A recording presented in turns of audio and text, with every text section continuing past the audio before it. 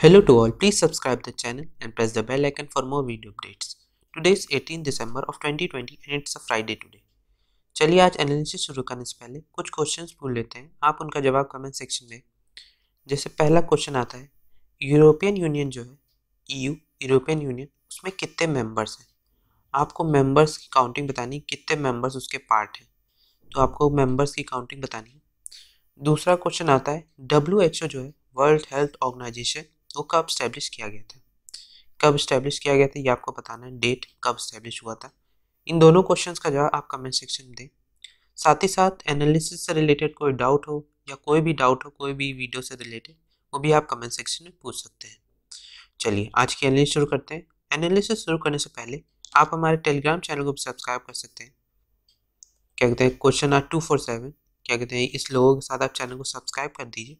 या तो डिस्क्रिप्शन पर लिंक दी हुई है सब्सक्राइब द टेलीग्राम चैनल उसको क्लिक करके आप इसको डायरेक्ट हो जाएँगे। और यहाँ पर एक ज्वाइन ऑप्शन आएगा, ये यहाँ पे ज्वाइन ऑप्शन आएगा, इसको आप क्लिक करेंगे, वैसे ही आप चैनल को सब्सक्राइब कर लेंगे। जहाँ पर आपको सारे पीडीएफ नोट्स मिल जाएँगे, जो हम लोग एनालिसिस करते हैं, वो सारे के सारे पीडीएफ नोट्स आपको यहाँ पर मिल जाएँगे। और जल्दी हम लोग एक वोकेबलरी सेशन भी करने वाले हैं, जिससे आपकी वोकेबलरी याद करने में हेल्पफुल हो तो वो भी आपको यहाँ पे मिल जाएगा। तो ये आपके लिए हेल्पफुल हो सकता है बहुत ज़्यादा। तो आप इसको सब्सक्राइब कर लीजिए। और क्यों, आप किसी भी कम्पिटिटिव एग्ज़ाम की तैयारी कर रहे होंगे तो वो आपके लिए एज अ करेंट अफेयर या इंग्लिश वोकेबलरी के लिए आपके लिए हेल्पफुल हो सकेगा। चलिए, आज की एनालिसिस शुरू करते हैं। पहली न्यूज़ देखते हैं हम लोग, चलिए। आज की पहली न्यूज़ आती है farmers have constitutional right to continue protest ऐसा सुप्रीम कोर्ट ने कहा है। जो हमारे सुप्रीम कोर्ट के, क्या कहते हैं जज हैं, उन्होंने कहा, कहते हैं कि सुप्रीम कोर्ट ने कहा कि अब ये जो फार्मर्स हैं फार्मर्स के पास एक कॉन्स्टिट्यूशनल राइट है कि वो कंटिन्यू कर सकें इसको, जिस तरह से वो कर रहे हैं प्रोटेस्ट साइलेंटली तो उसको इस तरह से होने दिया जाएगा। उस पर अगर वो वायलेंस में कन्वर्ट नहीं होता है तो। अगर वायलेंस में कन्वर्ट होगा, तब उसके ऊपर एक्शन लिया जा सकता है, वरना जिस डिसेंट वे से या पीसफुल वे में प्रोटेस्ट चल रहा है, वो प्रोटेस्ट होना चाहिए। और क्या कहते हैं, उस पर गवर्नमेंट डिसीज़न लेगी कि वो एग्रीकल्चर लॉ वापस लेगी कि नहीं। उस पर सुप्रीम कोर्ट ने कहा कि हम डिसीज़न नहीं लेंगे। और जो प्रोटेस्ट की बात है, हम प्रोटेस्ट को हटने के लिए डिसीज़न नहीं दे सकते। क्योंकि किसी का भी राइट टू प्रोटेस्ट होता है, हर किसी के पास राइट टू प्रोटेस्ट का फंडामेंटल राइट होता है। तो इसलिए क्या कहते हैं, सुप्रीम कोर्ट ने ऐसा कहा। उन्होंने कहा क्लैरिफाई किया कोर्ट ने कि क्लैरिफाई कि वो इंटरफेयर नहीं करेंगे प्रोटेस्ट में और प्रोटेस्ट एक पार्ट है फंडामेंटल राइट का और ये एक्सरसाइज कराया जा सकता है सब्जेक्ट टू पब्लिक ऑर्डर कि पब्लिक कोई भी पब्लिक क्या कहते हैं प्रोटेस्ट कर सकती है। अगर वो नॉन वायलेंट वे में प्रोटेस्ट करे तो। We are of the view at this stage that the protest should be allowed to continue without impediment and without any breach of peace by protesters और द पुलिस की।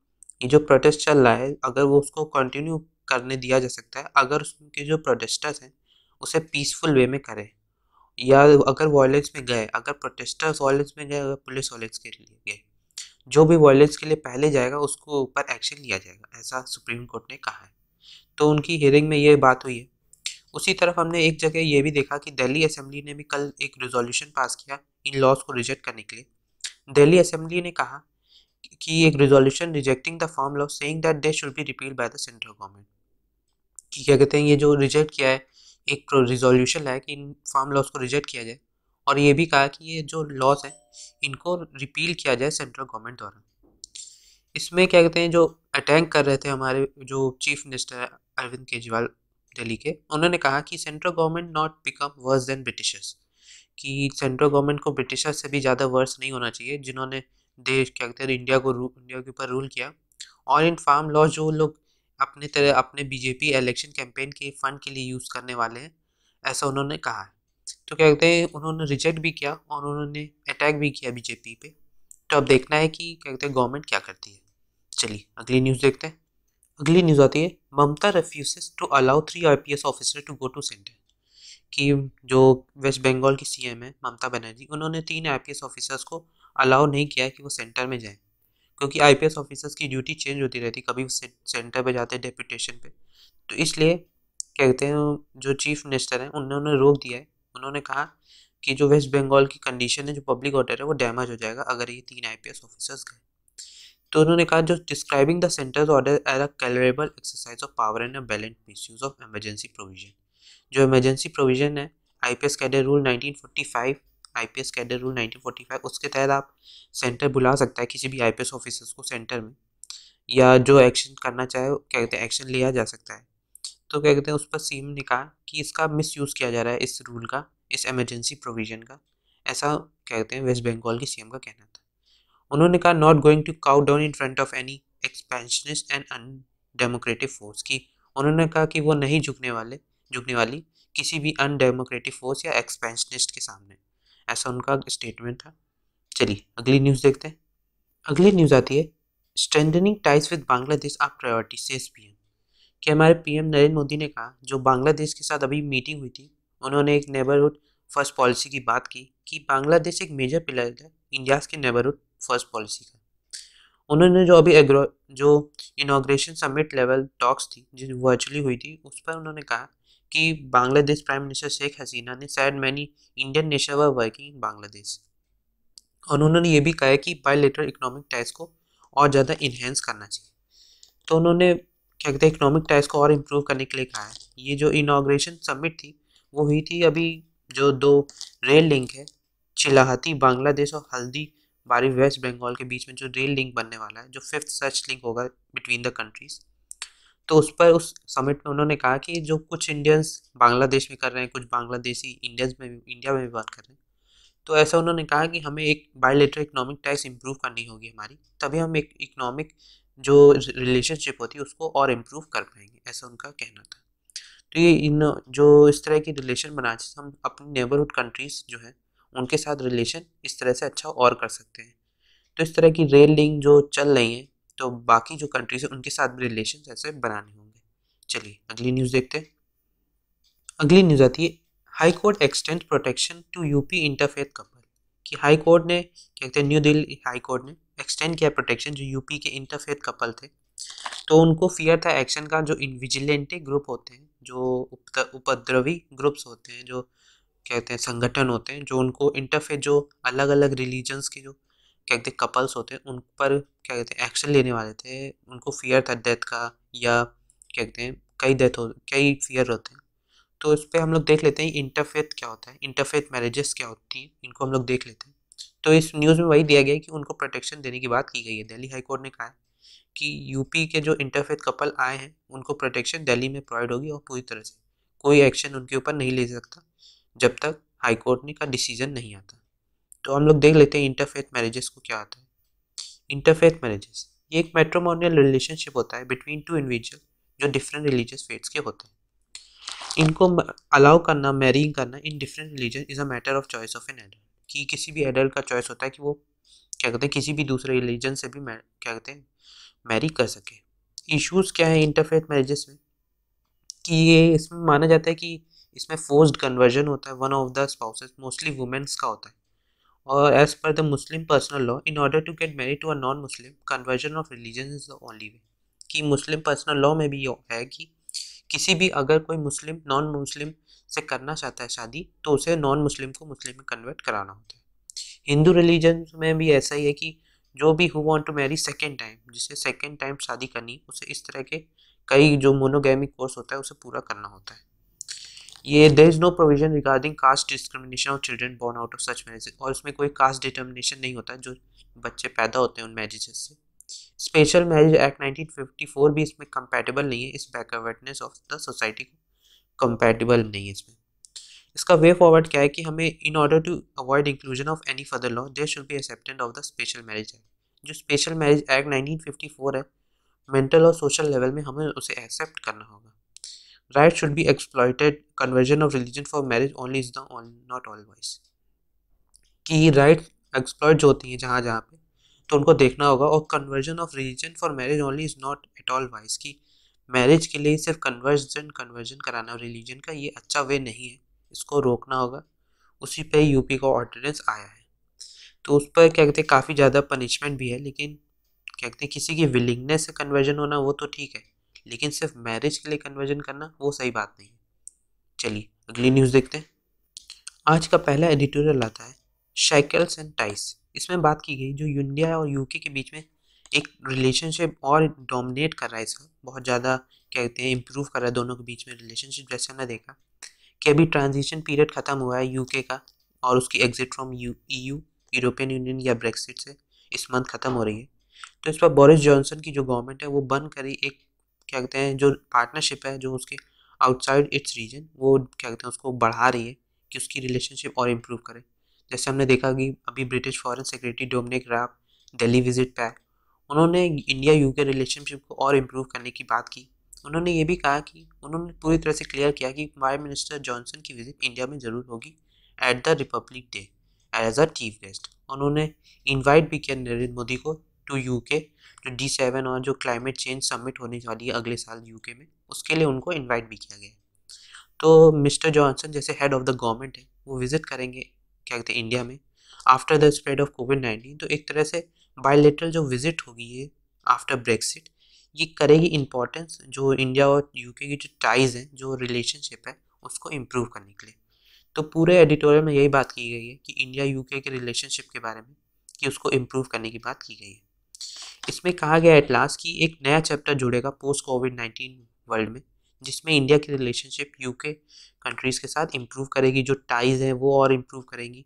और जो हमारी relationship improve होगी तो हमारी जो कंडीशन है, जो हमारी रैंकिंग है, वो भी इम्प्रूव होने की चांसेस हैं। क्योंकि कोई भी, वो लोग भी हेल्प करेंगे, जो और भी कंट्रीज़ है, वो भी हमारे साथ रिलेशनशिप और अच्छा करना चाहेंगे तो ऐसी कंडीशन हो सकती है। चलिए, अगली एडिटोरियल देखते हैं। अगला एडिटोरियल आता है, in agri reforms go back to the drawing board कि इसमें कहा गया जो एग्रीकल्चर रिफॉर्म्स लाए गए हैं, उनको पहले जाके जो ड्राइंग बोर्ड है, जिस बोर्ड ने इसे ड्राफ्ट किया है, उसके बारे में देखना होगा। कि किस बोर्ड ने ड्राफ्ट किया और किस मोटिव से क्या कहते हैं ड्राफ्ट किया गया है, उसके बारे में पूरे एडिटोरियल में बात की गई है। कि उसको देखना होगा जो रिफॉर्म्स इस तरह के होते हैं। तो इसमें कहा कि जो इंटेंडेड बेनिफिशरी हैं often understand the realities of the system better policy makers need to build trust की जो पॉलिसी मेकर्स हैं, उनको एक ट्रस्ट बनाना होगा ट्रस्ट जो बिल्ड करना होगा, तभी वो रियलिटीज़ ऑफ़ द सिस्टम को जान पाएँगे। और जो इसमें वही बात की गई है कि जो ड्राइंग बोर्ड थे, जो ड्राफ्टिंग बोर्ड था, इस रिफॉर्म्स का, उसको देखना होता कि क्या कहते हैं, क्या रियलिटी है फार्मर्स की, उसके हिसाब से उसे ये लॉस बनाने चाहिए थे। तो इस पूरे एडिटोरियल में यही बात की गई है। चलिए, अगला एडिटोरियल देखते हैं। अगला एडिटोरियल आता है putting food at the centre of India's nutrition agenda कि इस न्यूज़ में बताया गया है जो कि फ़ूड को एक एज अ सेंटर मीडियम जोड़ना, कि इंडिया का जो न्यूट्रिशन एजेंडा है उसमें।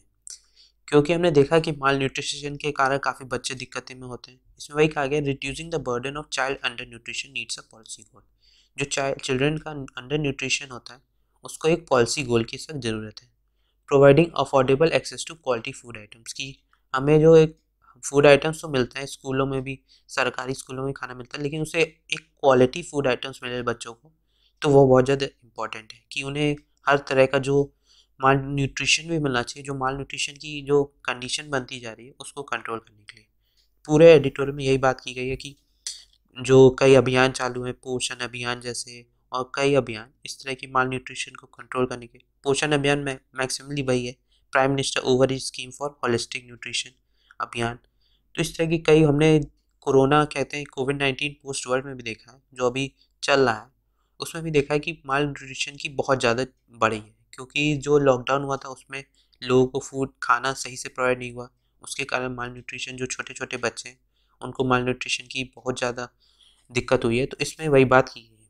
जो अभी नेशनल फैमिली हेल्थ सर्वे आया था, उसमें भी यही बात की गई थी कि न्यूट्रिशन, माल न्यूट्रिशन होने की वजह से कुछ लोग, बहुत जो छोटे बच्चे होते हैं उनको कई दिक्कतें देखी गई हैं।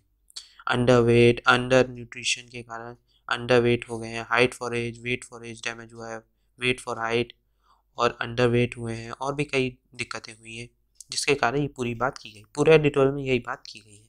चलिए अगला एडिटोरियल देखते हैं। अगली न्यूज़ अगली न्यूज़ आती है। इंडिया रिकवरी रेट हाई ऐसा गवर्नमेंट का कहना है कि गवर्नमेंट ने रजिस्टर किया है कंट्री ने रजिस्टर किया thirty three thousand two hundred ninety one recoveries in the last twenty four hours cases आए twenty six thousand nine hundred seventy four और recovery thirty three thousand two hundred ninety one तो काफ़ी अच्छा recovery rate है हमारा। लेकिन अभी भी स्प्रेड रोक चल रहा है, जिसको रोकने के लिए हमें सिर्फ़ रिकवरी नहीं, एक वैक्सीन की भी ज़रूरत है, जो हमें स्प्रेड चेन को रोक सके। तो इस न्यूज़ में वही बात की गई है कि इंडिया का रिकवरी रेट काफ़ी अच्छा है और इसको ऐसे ही इम्प्रूव रखना है हमें। और भी इम्प्रूव कर सकें तो और इम्प्रूव करना है। चलिए, अगली न्यूज़ देखते हैं।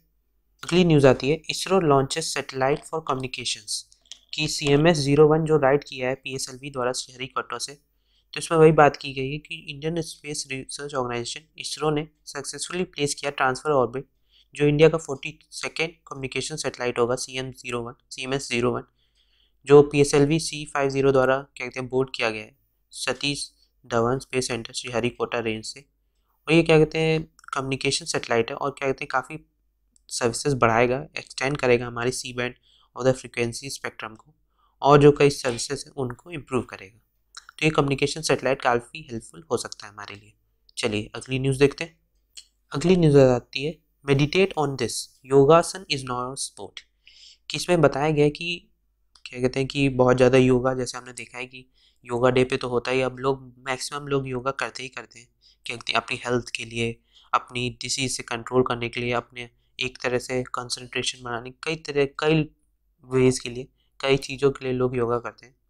तो सेंटर ने कहा है कि वो रूल्स एंड रेगुलेशन बनाएगी नई, जो चैम्पियनशिप होगी इसकी। अब ये योगासन एक तरह से स्पोर्ट बन जाएगा और इसे ग्लोबली भी ले जाने की बात की गई है, इन चैम्पियनशिप्स को।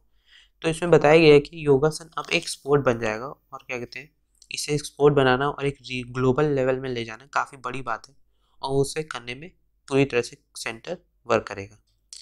चलिए, अगली न्यूज़ देखते हैं।